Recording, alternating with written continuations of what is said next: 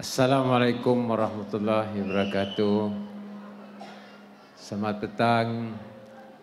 A very good evening. Tan Xiao, Xin Yan Hao.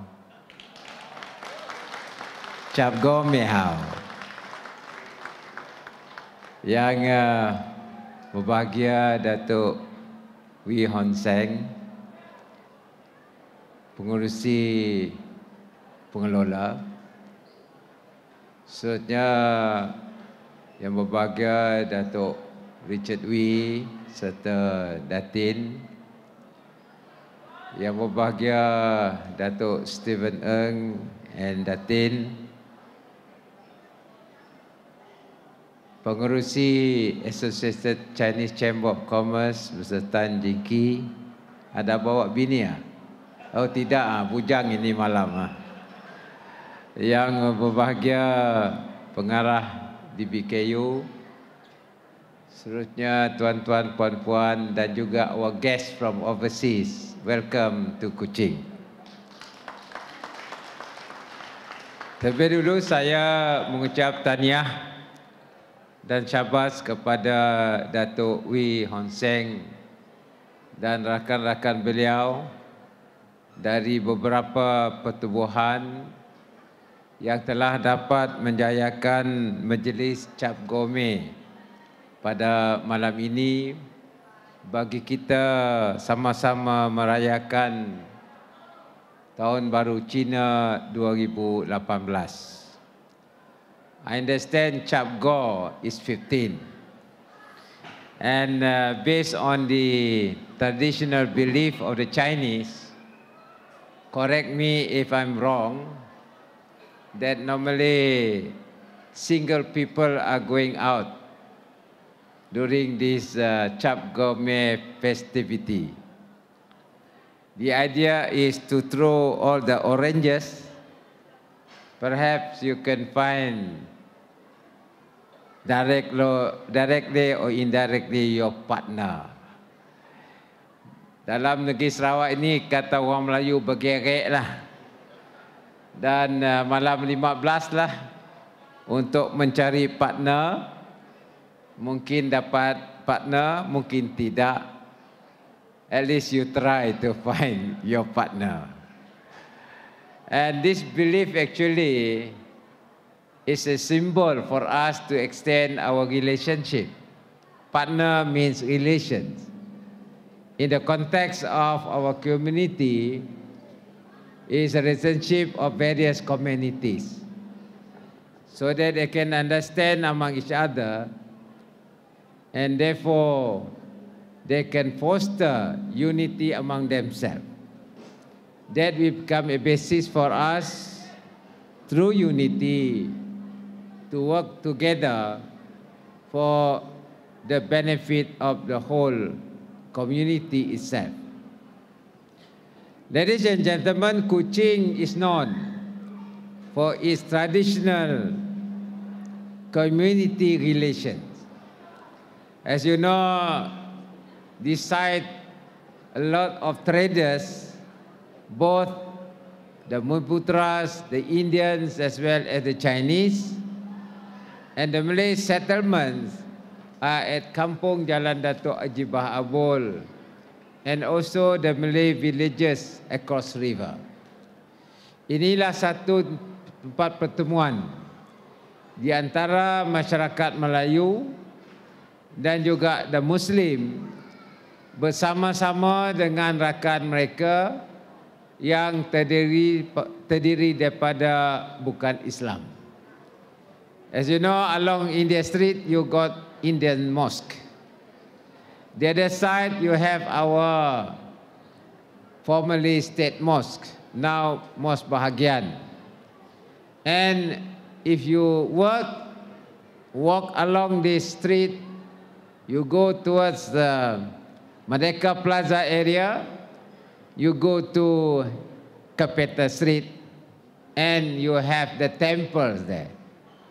And therefore, these uh, major religions interact in this particular area.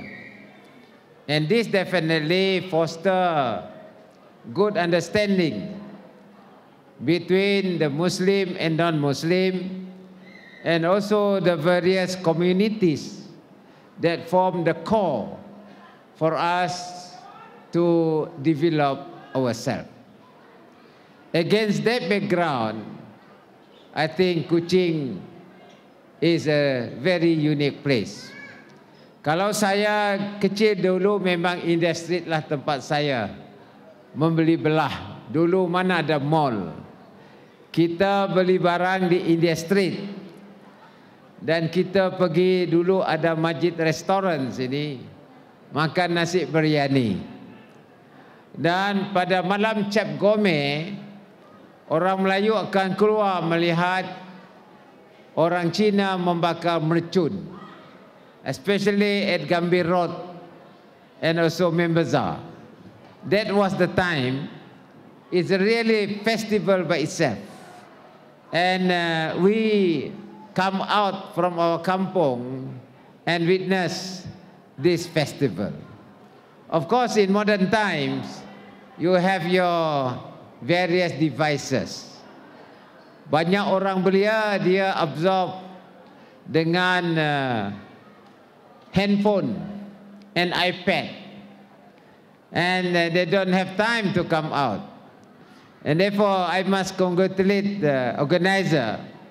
At least tonight, we come out and witness and be together with the Chinese to celebrate Chap Gourmet.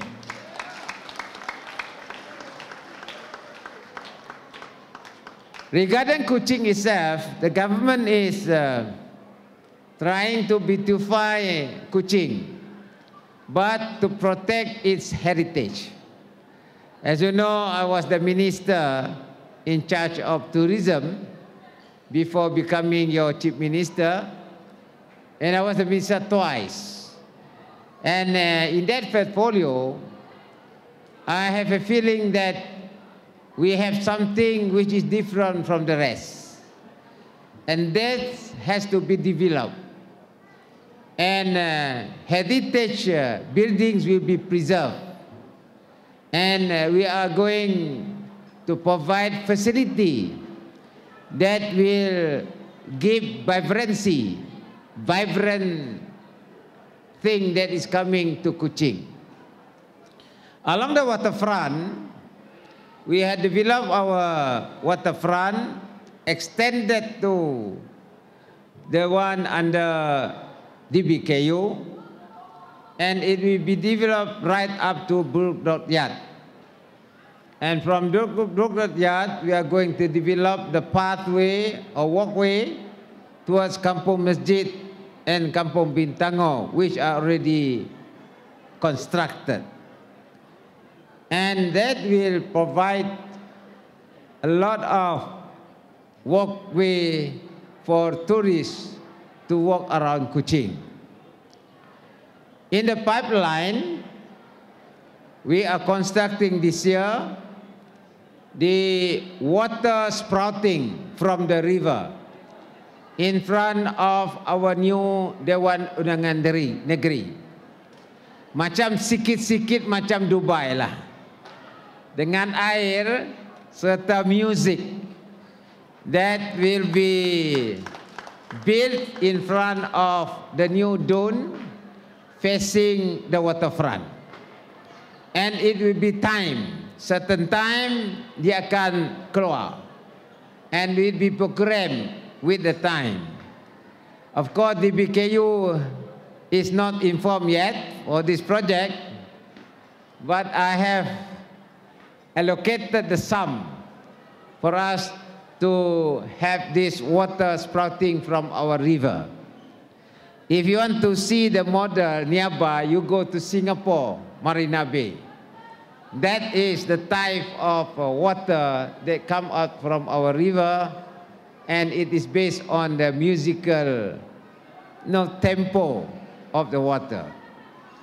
Then, Fort Margareta we are going to build what we call tea house in front of Fort Margareta with cascading waterfall, artificial waterfall from the bukit. Dia keluar dan akan dihiasi dengan lampu. Dan kita akan mempunyai restoran tea house di mana pengusahanya ialah mereka akan menjamu selera secara orang barat. Kerana Fort Margrethe ini adalah legasi daripada Brook. So we want to have sikit-sikit macam English tea house dan orang yang uh, akan uh, menyediakan makanan menggunakan stocking orang putih dulu sampai ke Palak Tut kata kita Sarawak. And if you want to be treated like raja, you go to that tea house. And that is something unique that we want to develop along the waterfront not to mention the Malay Kampung at Darul Hana. And this is a, a real transformation where we will protect and preserve our heritage while at the same time we modernize the facility that we provide to tourists and people coming over to the city of Kuching.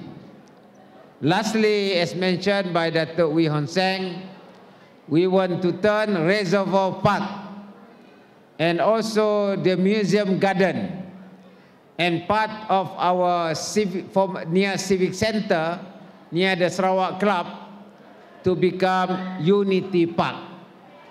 And that Unity Park will symbolize all the cultural housing or cultural uh, buildings that will be sited in that particular park and that reflects the unity of the people in Kuching. Tuan-tuan inilah perancangan kita dan uh, saya yakin perkara ini akan kita nikmati dalam masa lima tahun ini sebab ia mengambil masa untuk membangunkan apa yang telah saya ceritakan tetapi peruntukannya sudah kita sediakan. We have all the financial allocation. The only thing is to implement the project. Will take time. Kena planning take time too. Jadi industri ini akan menjadi focal point and also the area facing the waterfront that is Gambir Road, Market Street, Membazar. And of course, we will extend to Padungan. Padungan will be a different sort of development in Padungan, while we retain Padungan itself, that is the main road, the old buildings, but we have to also develop urban center, modern urban center in Padungan area. And therefore, the whole of Kuching will be planned properly. And we hope that with our low-cost terminal, which we are working together with Asia, Kuching will be connected to all the major cities in ASEAN. And tourists will be able to come by using Asia and other airlines that are coming over to Kuching. So that is our plan but I think the best is attraction is the people. The unity of the people is the best attraction where we can work together dan seterusnya kita dapat menikmati prosperity in diversity di mana dalam kita mempunyai budaya yang pelbagai ia juga mempunyai kekayaannya sendiri dan inilah kekayaan yang ada pada kita di negeri Sarawak dan juga di Bandaraya Kuching.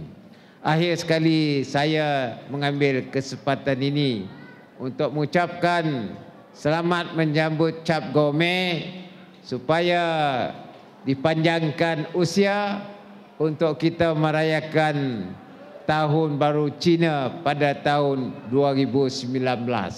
Ini tahun anjing. Anjing adalah satu haiwan yang banyak orang sayang dan anjing juga menjaga tuannya. I hope this anjing will jaga in the street.